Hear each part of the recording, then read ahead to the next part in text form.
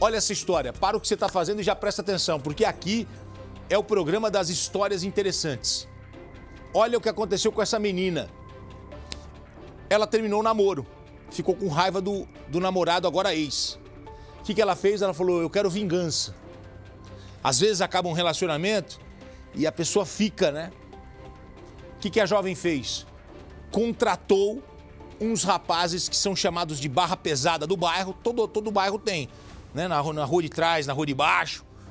Uns rapazes que são barra pesada. Ela pegou e foi lá com a irmã.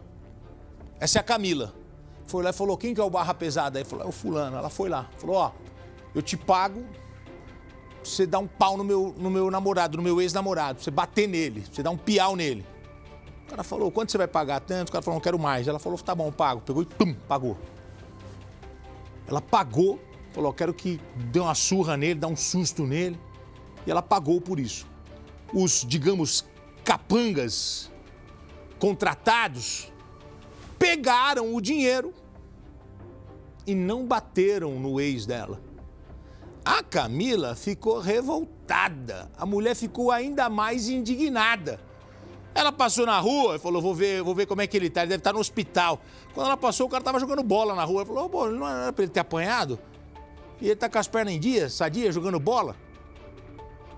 Ela pegou a irmã, a Elisângela, a Camila pegou a irmã, a Elisângela, e elas foram juntas tirar satisfação. Ela falou, irmã, entra aí que nós vamos lá. E o cara pegou o dinheiro e não bateu nele. Pegou a irmã, foi lá. Foi tirar satisfação, queria o dinheiro de volta. O que, que aconteceu? Acabou morta.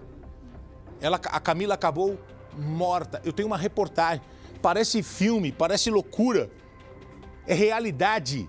Balança a reportagem ali, fecha lá, telão do Gotinão, quero ver.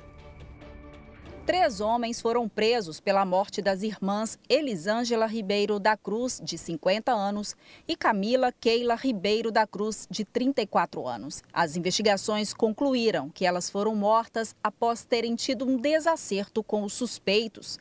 Segundo a Polícia Civil, Camila teria contratado os criminosos para agredirem um homem com quem ela tinha um relacionamento. Ela estaria inconformada com o fim da relação levou esses indivíduos até o local onde essa pessoa morava e eles ficaram ali de tocaia. No que eles ficaram de tocaia, a câmera de segurança do prédio captou as imagens deles e a investigação partiu dessas imagens para tentar determinar a autoria. Por quê? No dia seguinte, como eles não conseguiram o objetivo de dar a surra no motorista de Uber, que era o motivo pelo qual eles foram contratados, ela, a pessoa que contratou foi procurá-los no bairro Esperança querendo dinheiro de volta. Segundo as investigações, antes de serem mortas, as vítimas foram levadas para a casa de um dos criminosos. O laudo do IML apontou que uma das mulheres chegou a ser estuprada. Depois, as duas irmãs foram colocadas no porta-malas de um veículo e levadas para o local do crime. Eles foram contratados e pagos para fazer um serviço sujo. E aí, não sendo feito o serviço, uma das vítimas caiu na besteira de querer cobrar desses indivíduos o, a devolução do dinheiro.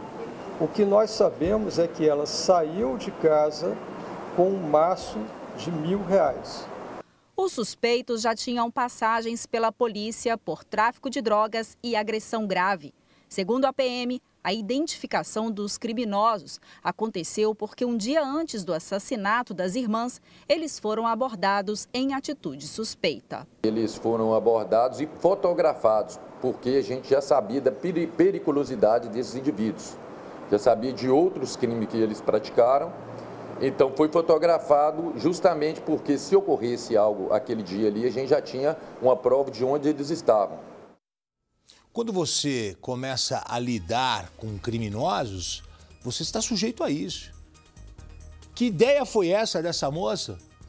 Vou contratar o que ela colocava como os bandidinhos do bairro para bater no meu ex-namorado. Ele vai ter uma lição.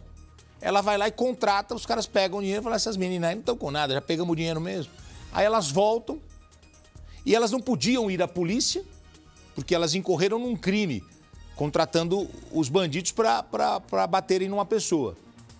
Elas não podem ir na, na televisão, chamar o, o, o, o Celso Russomano, ah, o meu direito do consumidor. Não tem como.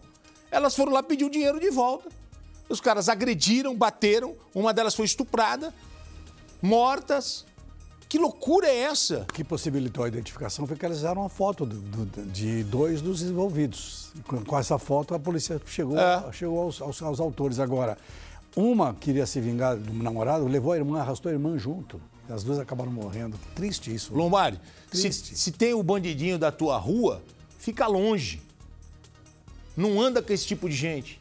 Não se aproxima. Não tenha relação. Porque quando você se relaciona com esse tipo de gente, vai dar problema. Vai dar problema para você em algum momento. Ela foi lá e ela estabeleceu uma relação é, é, para ela comercial, mas na verdade é uma relação criminosa. É, totalmente. É. A partir do instante que o disse, ah, pode deixar, nós vamos lá fazer o teu serviço. Imagina que tipo de gente é essa.